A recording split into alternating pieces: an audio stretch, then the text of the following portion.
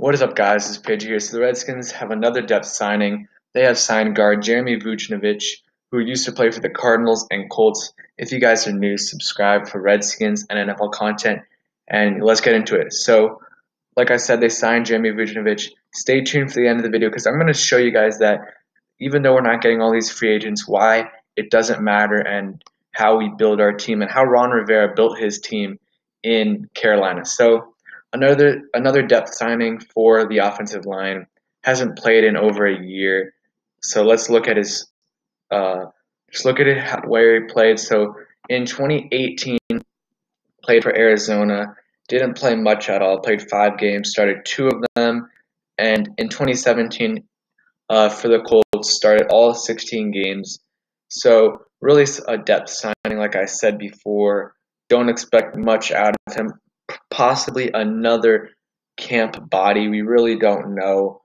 But I think I like I said, Ron is trying to build a culture. This is very important, guys. So stay tuned for at the end. I'm going to show you all of his draft picks and how you build through the draft, not free agency. But he's bringing out, bringing in these veteran players and like Thomas Davis, Kevin Pierre-Lewis, J.D. McKissic, all these players that uh, Cornelius Lucas, and others to build a culture and players he knows are going to give their 100% and aren't going to be locker room problems and are going to build the culture because build a good locker room is very important and Ron Rivera is trying to establish that. So that's really year one and maybe year two he'll start going after some more uh, free agents, bigger free agents like because like this year we, we signed a lot of guys. We signed like 10, 11 guys, but they're all uh, low tier guys. Like last year, we signed three total guys in free agency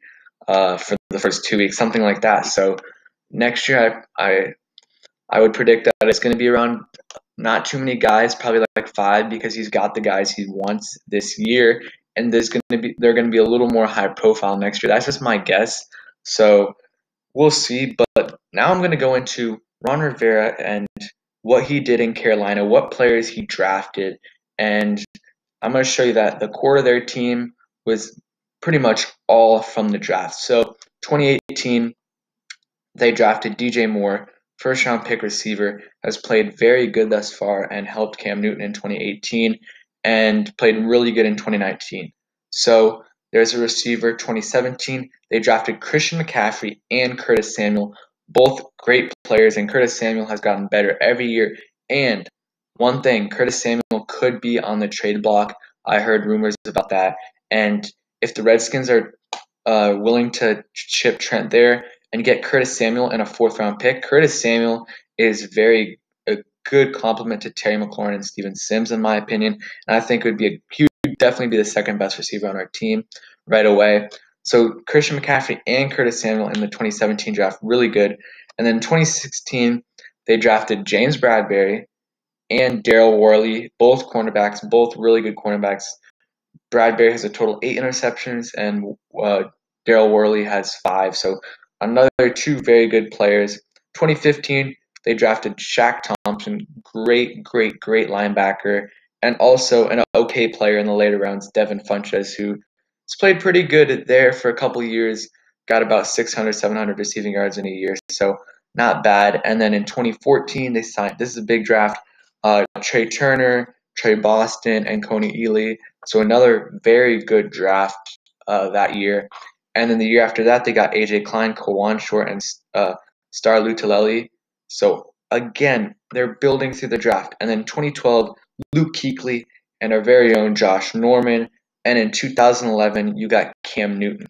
And when Ron Rivera wasn't there, also they signed, they drafted uh, Thomas Davis in the 2005 draft. But if you look at the when you think about Panthers in the Cam Newton era or Ron Rivera era, you think about a few players. You think about Cam Newton, obviously. You think about Luke Kuechly, Thomas Davis.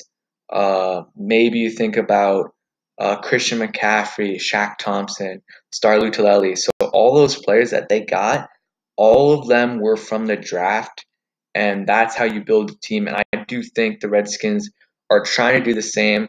Year one, they are trying to build a culture to help these young guys succeed And I think next year they will try to get a few more uh, higher profile free agents. But I do suspect that they're going to build to the draft. And you got Kyle Smith, who is a great talent evaluator, who's gotten a lot of late round talent picks in the last few years. And this year he's going to have full control of the draft. So I think with the combination of Ron Rivera and Kyle Smith uh, making our draft picks, I think it's going to be great. And we still don't know. Might get another draft pick for Trent Williams. So as upset as we are with these low key signings, I think it's for the better. We are going to get better over time. And even some of these guys are decent. Sean Davis had a good year. Uh, Thomas Davis is one is going to be. I don't think he's going to make the Hall of Fame, but he's one of the better linebackers in a long time. Yeah, definitely not going to make the Hall of Fame, but one of the be- best linebackers in the last decade. Also, we got uh, Kendall Fuller who's going to contribute right away. So we got got a lot of good guys that can play, and I think I, as much as we don't we didn't get a tight end or a complement receiver to Terry McLaurin, I think we'll be fine. Going to try to develop our younger guys. I think our defense is fine. We just need to get another cornerback, whether that be Logan Ryan, Bashaud Breeland, Ross Cockrell, any of those guys I mentioned in my video before. If you didn't watch it, go watch that. But yeah, I think we're going to be fine. This year is very important and for our drafting and to develop our young players.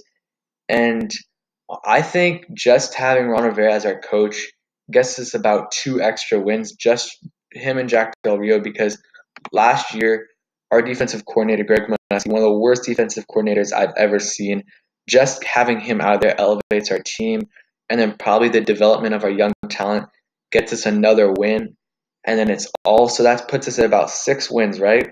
And then the next is health, and the biggest thing is Dwayne Haskins' development. If Haskins plays at an average to above average Q as an average or above average QB next year, we could win seven, eight, nine games. But if he played like he did uh, most of last year, then we'll probably probably win five, six games. So that's just my opinion. Tell me what you guys think. I do think that it is a little bit frustrating, um, but I think we'll get through it. And drafting is the you you build your team through the draft, and I think that's what Ron Rivera has done. So let me know if you guys enjoyed this video.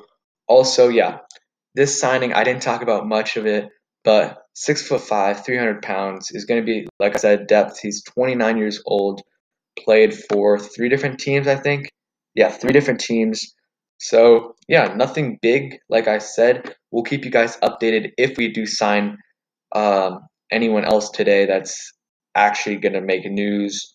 Uh, yeah, thanks for watching, guys. Oh, also one last thing, Brashad Breeland. We have not had any contract talks with Brashad Breeland yet. Thanks for watching, guys. Hope you guys did enjoy. If you did, please smash like button and peace.